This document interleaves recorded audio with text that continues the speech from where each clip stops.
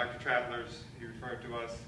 And uh, keratoconus, he's had uh, surgery, um, epi-on in both eyes, uh, in both eyes. He's tried just about every refractive um, thing possible as far as glasses don't work, contact lenses, soft lenses, RGPs, hybrids. Uh, he came in wearing hybrids. He's about 20, 30 minus uh, with the hybrid lenses. And uh, he's unhappy with pretty much every lens. Uh, they just get uncomfortable and dry up on him. You can see his uh, prescription is, um, in his glasses is not so good. It's about eight and a half diopters of astigmatism in the left eye. So what can we do next? I'll give you a hint. It rhymes with miracle. At least my patients say it rhymes with miracle. Sclerals. Scleral rhymes with miracle. So, and uh, back to the question, does uh, size matter? Sometimes it does. Uh, we have uh, mini scleral scleral lenses. With, uh, with scleral lenses, they, they never touch the cornea. Is there a laser pointer here?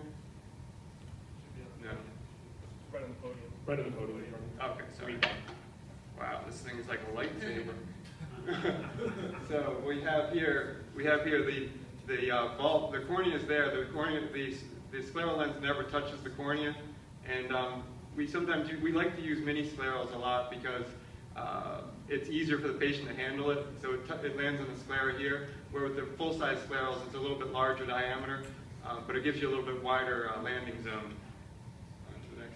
I think it makes it a little easier too because somebody who's never had contacts in their eyes before, anything like that, to put especially a smaller diameter lens at first, which is similar in size to a soft lens, it's not as scary than throwing on a 16.5 or a 17 size, so that definitely helps too. True.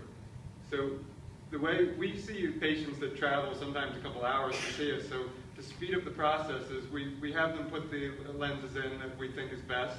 And um, the lenses actually, this is, these arrows for some reason aren't lined up properly. The red arrow is actually, that red arrow is a tear lake. Uh, the scleral lens is over here, and we actually have a measurement there, it's about 200 microns, and then that's the cornea. Uh, this guy has Intacs and a little bit of apical scarring.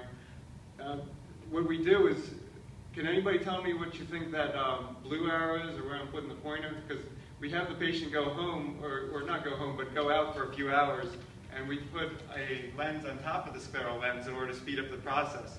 Uh, because with our stock lenses, a lot of times we put a lens on and then we do an over refraction. We get like a minus nine over refraction, and we're not sure what you know the final power is going to be. So instead, we'll put a soft contact lens on top, let them go for a few hours, and then have them come back. We check to see how much it's uh, settled. You know, usually it settles between 50 and 100 microns, and then um, you know it saves the patient a step from uh, with the fitting process.